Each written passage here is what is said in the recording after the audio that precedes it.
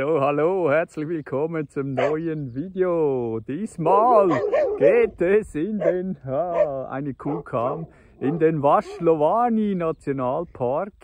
Eigentlich dachten wir, wir müssen alles mit dem Bike machen, haben wir auch, aber dann hat sich das Blatt gewendet. Die Border Police hat uns mit unserem großen Teil, trotz äh, der Sage von vorher an Informationsdings da, dass wir äh, nicht durchfahren dürfen.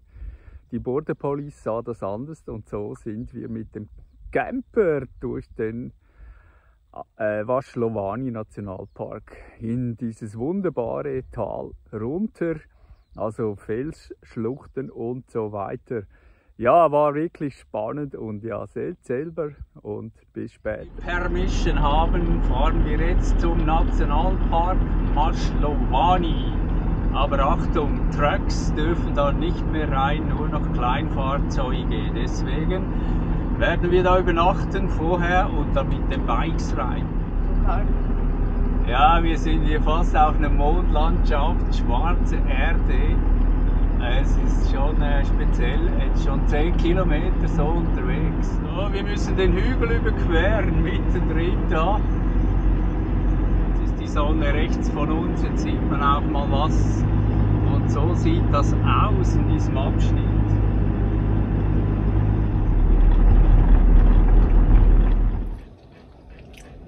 So, rechts von diesem Hügel ist dann der Nationalpark eigentlich. Wir fahren jetzt da aber an der Grenze entlang. Wir stoßen hier auf heftigen Widerstand von Kühen.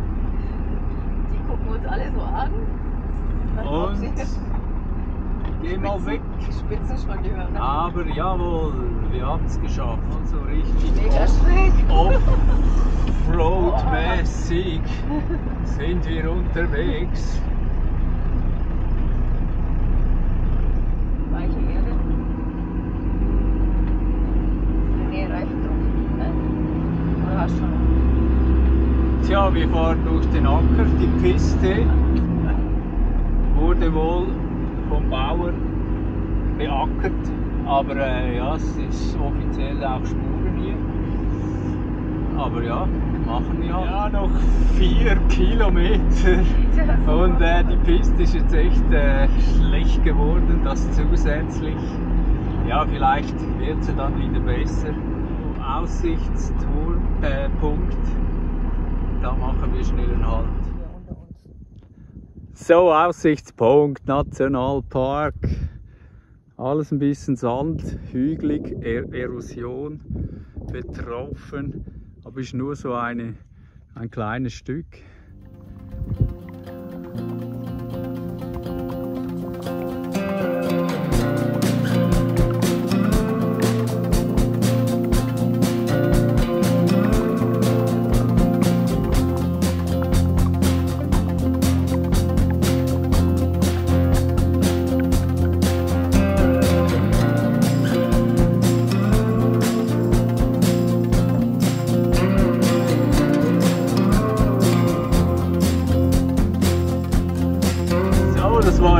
Schnelldurchlauf von dieser wunderschönen Landschaft, damit ihr auch etwas mitkriegt und auch hier wieder Rebhühner oder so.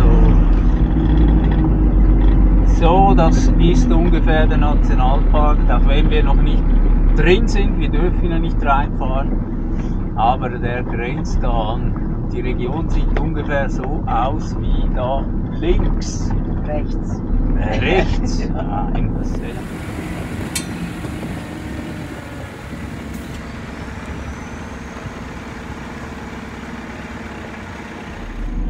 So, steile Piste runter und äh, die Sonne ist gerade untergegangen. Wir sind jetzt langsam in der Dämmerung, noch 5 Kilometer. Ja, und dann äh, sollten wir am Ziel sein.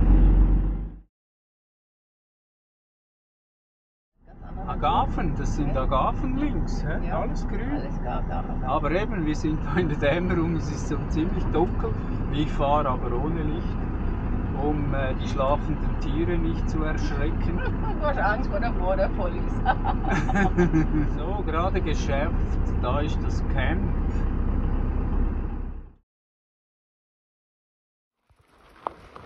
So, neue Morgen, Mittagszeit. Ah. Und schon sticht mich eine Fliege. So, mit dem Track dürfen wir da nicht rein. Warum? Er schließt sich mir nicht. Äh, weil die Jeeps dürfen da durch. Und jetzt sind wir halt mit dem Bike rein. Das geht auch gut.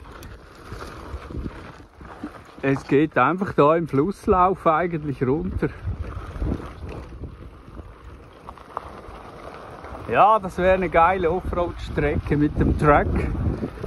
Jetzt leider mit dem Bike.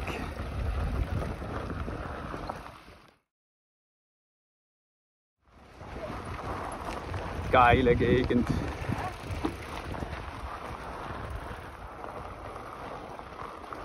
Also das erwartet euch alles.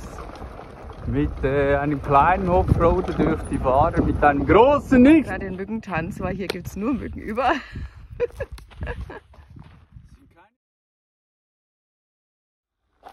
Da gibt es eine riesen Eidechse. Die ist 20 cm lang. Oh, ist die groß.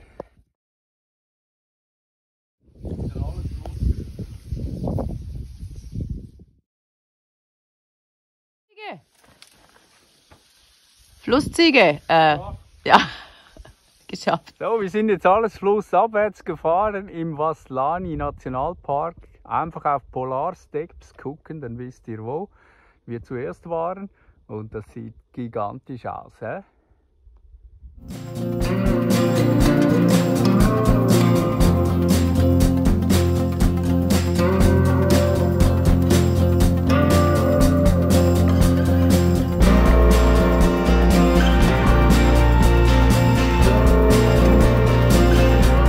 Ja, im Waschlowadi Park sieht das hier so Offroad aus, aber es sind halt nur noch die kleinen Fahrzeuge erlaubt.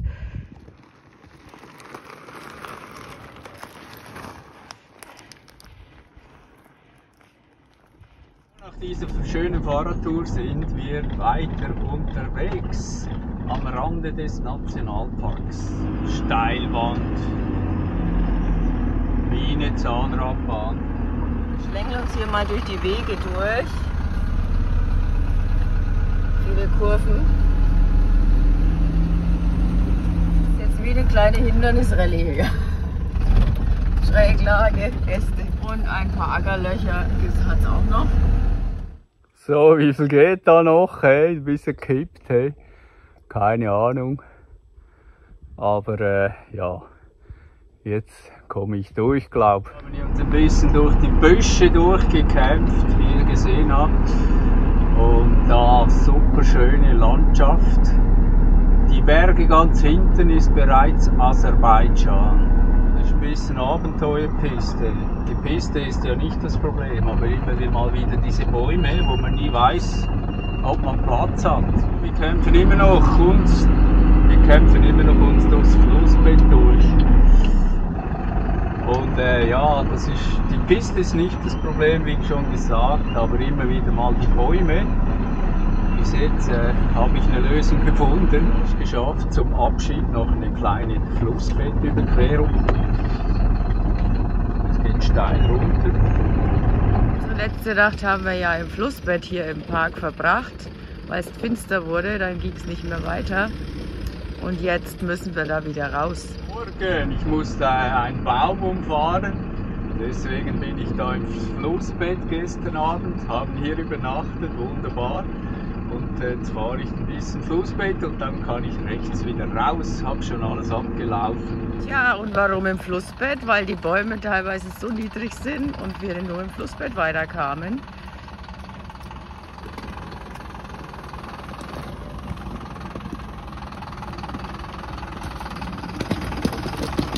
Und die Steine, die knallen, man hört's.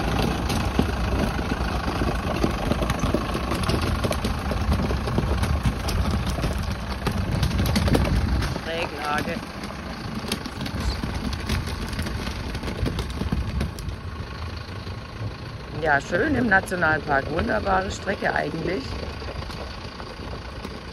Und hier geht es wohl wieder raus. Jetzt ist die Strecke hier oben wieder freier.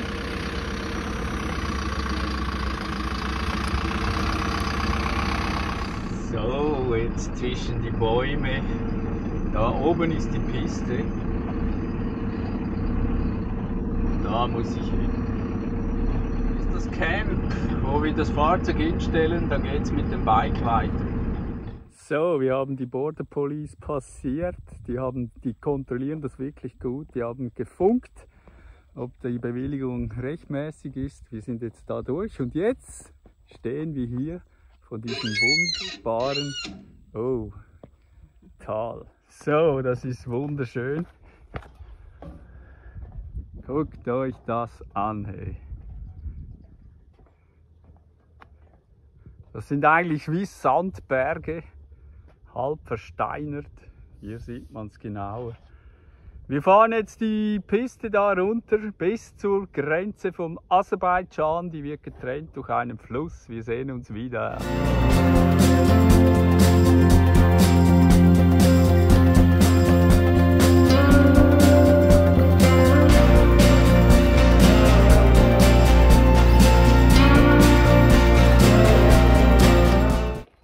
Kommt sie! Ah, das rutscht her. Easy peasy!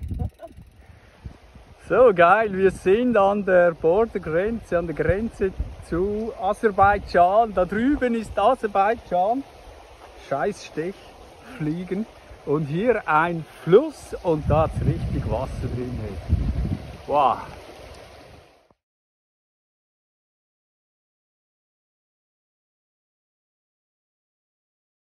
Katze?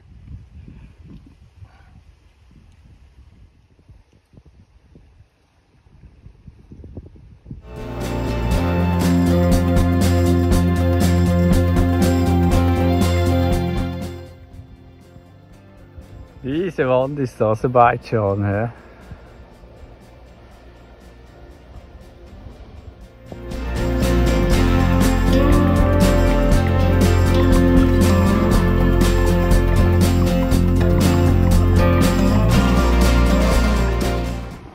So sieht der Weg übrigens aus im Canyon. Da fließt manchmal Wasser, aber selten. Also das sind selber gebaute Fitnessbänke hier in der Wüste. Das ist ja heiß. Kann man Gewichte stemmen. So. Ja, leg dich mal hin. Heb mal hoch. So geht's auch, ja. Braucht nicht ein Fitnessstudio. Oh! Oh! Sehr schwer. Oh! Gott. Scheiße. Okay! Bist ein bisschen außer Training, aber nur ein bisschen, oder? So, gleich da hinter mir, ihr seht es vielleicht, das ist die Border Police. Wir haben da passiert vor drei Stunden, kein Problem. Ich habe den gefragt, ob ich mit dem Car, mit dem Big Car hier runterfahren darf. Kein Problem, sagt er. Und jetzt mal schauen, jetzt hole ich das Teil. Weil eigentlich haben sie gesagt, die großen Trucker dürfen da nicht runter. Also nur etwa bis drei Meter.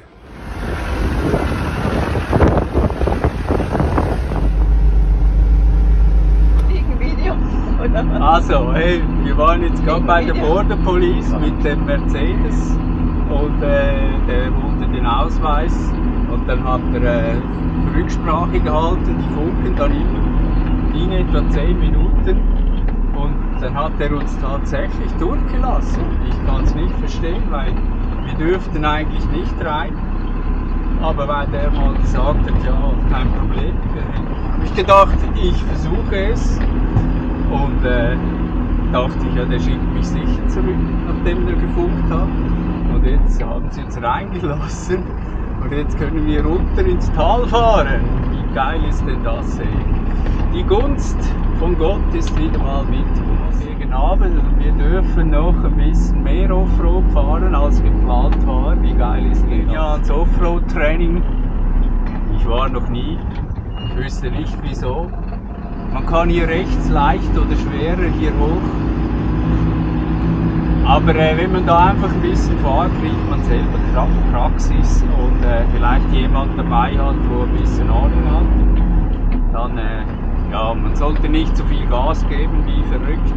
Einfach schön dosiert, wenn es hochgeht, damit die Räder auf keinen Fall durchdrehen. Das ist immer das Ziel, wenn möglich. So, jetzt geht's in die Schlucht runter. es hier regnet, dann würde ich da nicht durchfahren. Das ist dann eine Schlammschlacht. Man sieht immer wieder tiefe Spuren. So, wieder mal eine schöne Überquerung. Untersetzung ist immer drin da, offroadmäßig. Dann immer langsam, schön langsam. Wieder ein Flusslauf.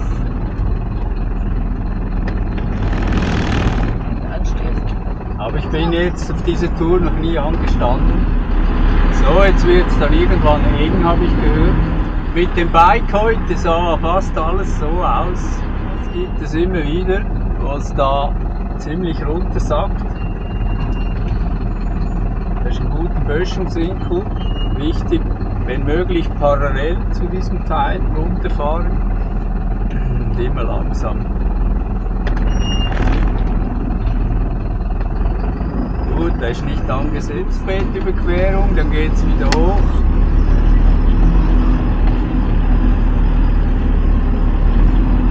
Nächste Border Police, sind wir da unten hinter den Bergen auf der weiten, flachen Ebene, wo es auch Gazellen hat. Und der Unimog, so wie es aussieht.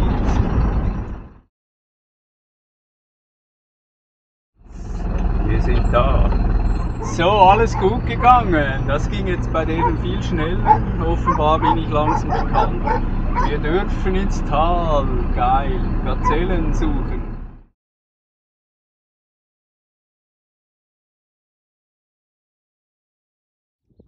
So, neue Morgen. Und wir haben Gazellen gefunden. Da hinten sind sie. Vielleicht seht ihr sie. Ja, jetzt stehen sie gerade.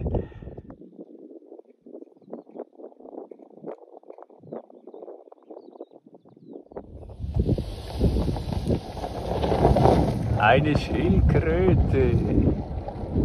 Und da hinten ist noch eine. In der Ebene fahren wir jetzt ins Flussbett.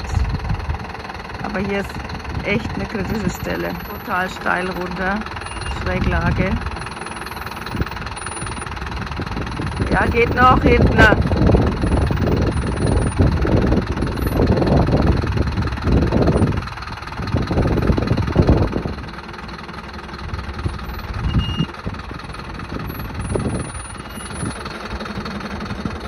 Boah, ist das schief.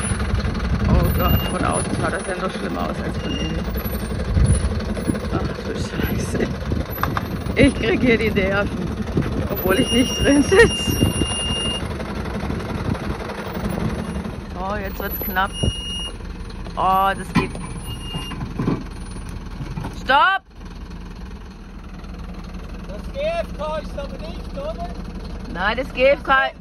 Nein, ist nicht das GFK, ist der äh, Reifenauflager. Der Träger. Ja, jetzt. Äh,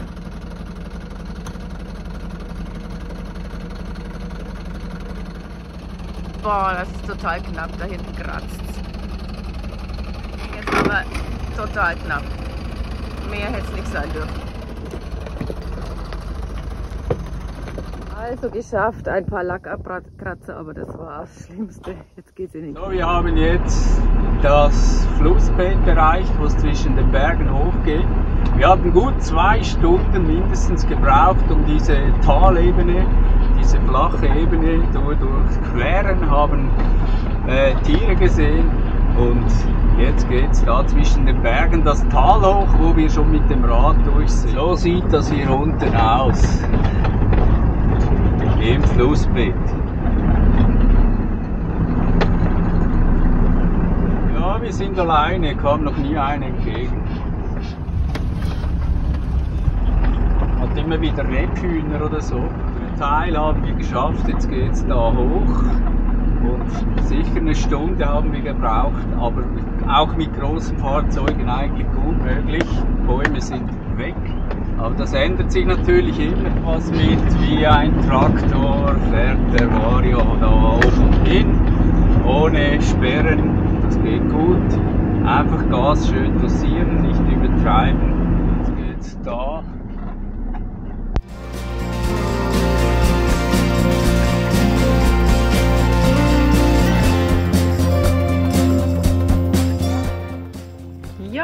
mal ein bisschen Hunde gefüttert hier. Die streiten sich auch nicht, die sind ganz lieb. Suchen sich das Futter auf der Straße, so wie ich es verstreue. Ja, während ich Futter verteile, verteilt der René Infos über den Park, in dem wir gerade waren. So, das war wirklich der, eines der schönsten Erlebnisse, vor allem da diese Schlucht runter. Ein äh, Flussbett nach dem anderen, es ging da runter und gleich wieder hoch. Aber ich hatte ja Übung, ihr habt es gesehen beim letzten Video oder vorletzten. Äh, ja, war super und hat richtig Spaß gemacht. Ja, schön wart ihr dabei, wie immer Daumen hoch und bis später. Tschüss.